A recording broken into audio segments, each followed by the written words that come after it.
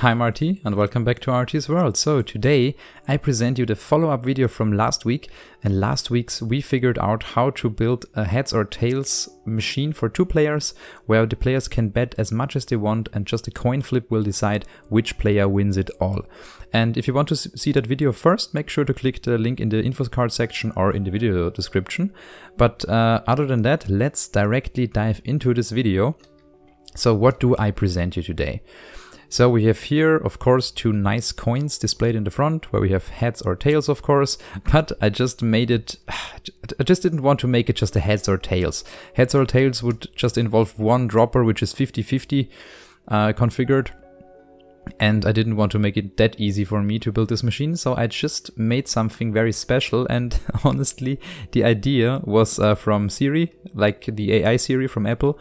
And sometimes the coin, if you flip it, if you say, hey Siri, flip a coin, usually you get heads or tails, of course, but there's a small percentage that the coin either lands in some kind of uh, area where you can't get it anymore, or it also can land on its side. And that's why I just placed here the side option as well. So we have heads, tails, or the side. And of course, I also displayed here the chances to win this. Uh, we have 47.5% for each heads or tails and 5% chance to get the coin on its side. And I will present it to you, for example. Let's say the coin will land on its side. So I pick the middle. Of course, it was heads. Yeah, doesn't matter. Let's try tails now. Let's do that one more time. Yes, I won, so I get two diamonds back. So that's how this machine works.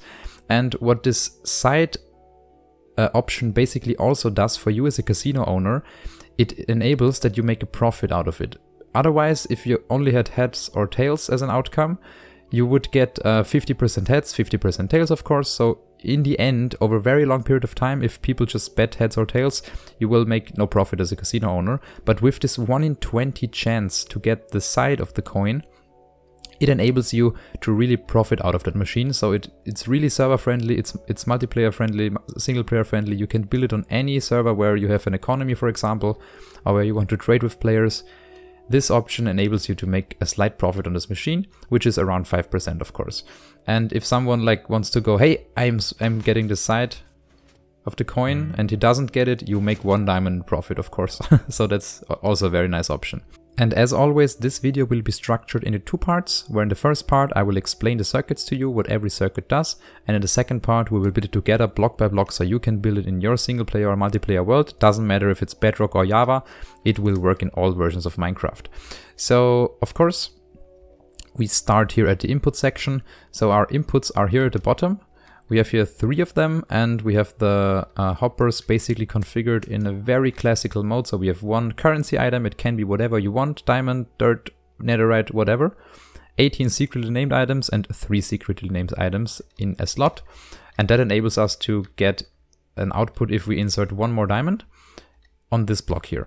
So if, for example, I use the heads or tails or the middle, the side, we transfer the corresponding wooden axe to the dropper on the other side therefore activating a comparator here. And by doing so, we transfer the signal upwards and we power the indicator lamps that are right here and we can see what we locked in. Next up, as we do that, uh, we will also trigger this orange line here that triggers the green circuit. And the green circuit is where all the magic happens. That's our brain of the casino. That's where we decide if it's the 50-50 or the 4.8 chance. So the 50-50 chance, of course, is a non-stackable item, the wooden axe and a stackable one. Doesn't matter which item you put in there, just needs to be stackable. And by doing so, we have here an OR gate, so we have either the left output or the right one, not both of them. So if I can show you that, for example, now we got the right output, now we got the left output. So very lucky for this 50-50 um, showcase. We get either the left one or the right one and those split up to the left torch and the right torches. And they form the AND gate on the top. So if we close the AND gate, if we bet correctly and the casino gets us the correct output, we bet in advance, we will close the AND gate as I said and therefore triggering the gray circuit. And the gray circuit is where we get here down to this observer. And this observer will trigger two times. And by doing so it will get us two of those nice diamonds. So That's the payout for the 50-50 uh, percent chance if you use head or tails. But if you chose to do the side of the coin, we have here a 14.2% dropper, which looks like this in the configuration. So six stackable items, one non-stackable one, and a 33.3, which is one non-stackable and two stackable ones. And in total, if you multiply the two chances, you get 4.8% and I just rounded up to 5%. That's why we have here this uh, kind of 47.5, 47.5 and 5% odds in total.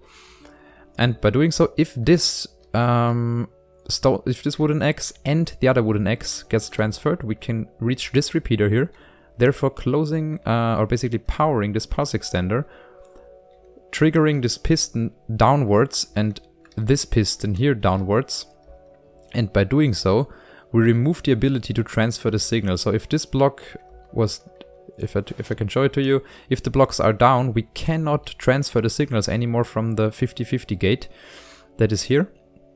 And we power this 50-50 gate each time, so we have to be faster with the right circuit, so the right circuit just in the right time intercepts the left one, so we don't get the output from the 50-50 gate, and that's how the uh, basically side of the coin circuit works.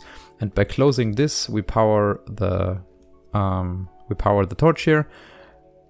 We torch up in the middle, and if we close the AND gate on the top, which is here, we can power a different circuit, the dark gray one, and that's where we get 20 items. And I know it's a little bit confusing what the redstone is doing here, that's why I placed in this circuit right here. And this circuit just gives you 20 items exactly, so not one single more or less, just 20 items. And it does so by basically repeating this configuration here, what I placed here.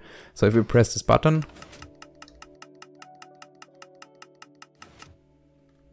we get a total of 20 items. Yeah, I had one in my inventory, so yeah. But here are 20 missing. If I, uh, yeah, there are 44 now. There were 46 in there, uh, 64 in there. So that's the payout for the uh, side of the coin. And with that said, I already explained each circuit to you and each line. Uh, the last thing, yeah, I didn't cover the magenta line. The magenta line is just a collection or an AND gate of all the different outputs. So we have here the middle one, which is here. We have the outer ones, which are here, and they all are combined in an AND gate. They just reset everything. So they just transfer the axes that get transferred on the start back into their uh, starting droppers. And that's simply what they do not that complicated, just resets everything. And yeah, one thing left here is the, the profit chest, that's what the profits are. You could even recycle those profits with a hopper line that turns around here and goes all the way to this uh, dropper if it would be one block uh, deeper in the ground and just a block up on top or a glass block on top. You could uh, make this in loop system so you have all the diamonds that the customers put in already in your dropper here that gives out the payments that would um, basically skip the part where you as a casino owner have to come here uh, like every now and then and refill this uh, payment dropper and also empty your profit chest. So that would just make it a little bit more convenient for you as an owner. But now let's get directly into the block by block tutorial. Welcome to the block by block tutorial. So I pre-built a section here, so don't be scared. And we want to start with a platform that is exactly 7 by 17. So 17 in this direction, 7 in that direction. And the seventh block is right here. So on the eighth block, there would be the wall. On the seventh block, there's this column. And we have here the wall that is 2, 4, 6, 7 blocks high as well. And then we have this uh, basically 8 high frame of quartz column that encases or encloses everything. We have here these custom banners, which are yellow uh, with heads and tails. And you can pause the video at any point to build these two coins, the hoppers and also the frames, the lamps and the signs. Same goes for the uh, for the platform where you stand on, just two blocks uh, away from the hoppers. There is this dropper with some diamonds in there. That's where your payments are made to the customers. And here we have also this uh, signs with heads, tails inside. So with that explained, we go to the back now and you can see here very well that the hoppers are either facing forward or backward, but not uh, downwards. That's that's that you, that you have to prevent it or sideways. You need to face them into this direction or into that direction, not in any other one. And with that said, we can now, um, where's the sea lanterns? Can now place here some sea lanterns here as well and a gold block in the middle for the side. And we just uh, place here some smooth quartz because that's blocks we can see from the, um, yeah, if we look very carefully, we can see through. So um, now we can then place in here some comparators that look like this. And we can also place in here three redstone torches that should look like that. Then we're gonna have here repeaters and two blocks and some redstone dust like this. Yeah, you can also fill in those blocks. Now we go to the front and put in each of those hoppers one diamond and 18 of those uh, filler items and 3 in the other slots.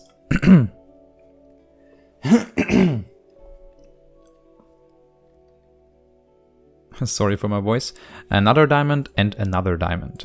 And same goes for the other droppers. So 16, 18, 3 there, 1, 2, 3.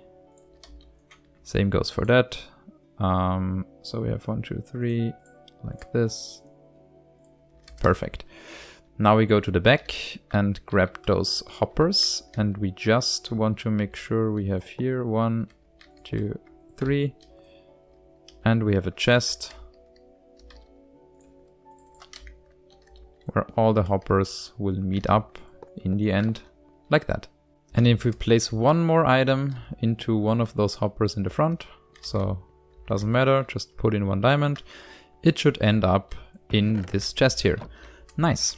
Um, with that done, we can now add the pistons. They should look like this. And we can also already add some orange wool. Here will be some orange wool with some redstone on top. And here on the bottom, we will just add this kind of configuration with some droppers facing into each other. And in the first row, we just put any non-stackable item. It doesn't matter what it is.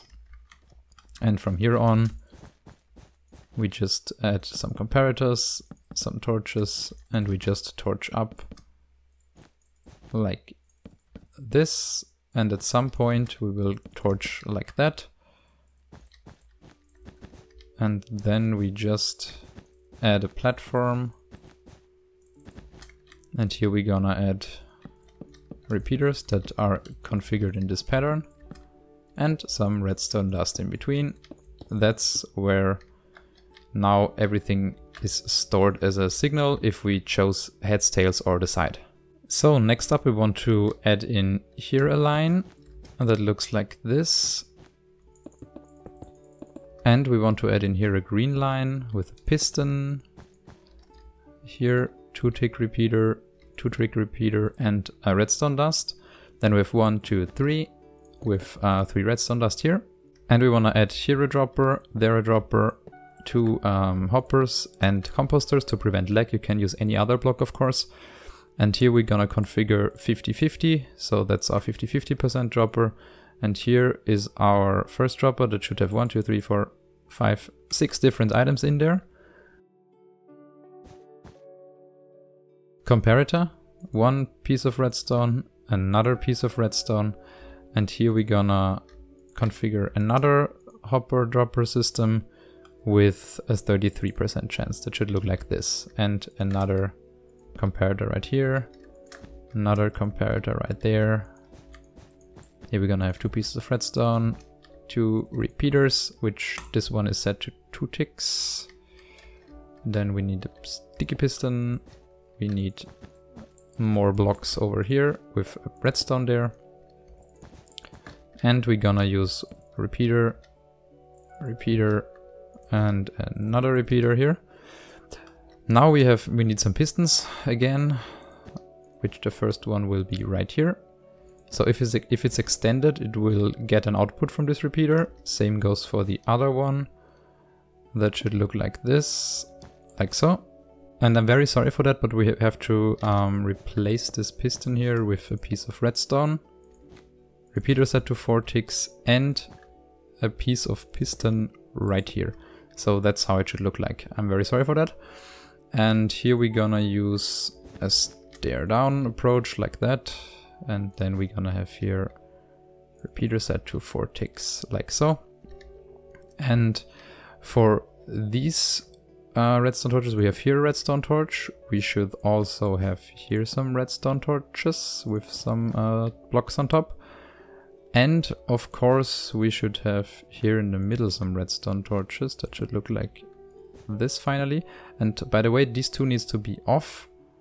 These all need to be on, so that's why we have to place in here two more redstone torches like this. They need to be on as well. So uh, now we want to get our heads or tails outputs and we need the first output to be into this torch and the second output to be into that torch over there. And the first output of course can be done much easier by just placing it right here so that will uh, disable that torch. If the output gets uh, triggered and then we need to go all the way down around like this, that's our second output. So if those blocks from the pistons are extended, we can get the signal through. So next up, we want to build the pulse extender here. So we just add ourselves here a 3 by 3 platform. We have here a comparator, there a comparator. We have here a torch, and this torch will power this uh, redstone. And this torch here on the bottom will just transfer the signal right to this torch, to the last output. And here we also gonna need to power those pistons and we gonna do that like so. So we're gonna have here a repeater, here a repeater. Ah, oh, sorry, like this. Should look like this. Perfect. So if for some reason we get a very lucky chance and hit the 5%, we can it powers that uh, that system and we get only the middle output for a little longer with this pulse extender. Next up we want to connect those lamps on the top so we're gonna do that by adding right here two come on two lines of green wool like this and we have here a row of green wool and we have here another line like that so we have now this alternating repeater pattern, but here are two repeaters in the start. And then we're gonna have just repeater and another. And we have to extend it one more block like that. Very sorry for that. And then we already can configure our AND gates. So that's where the AND gates are. So we have here the first one. And here we have the second one. That's our outputs and we just combine them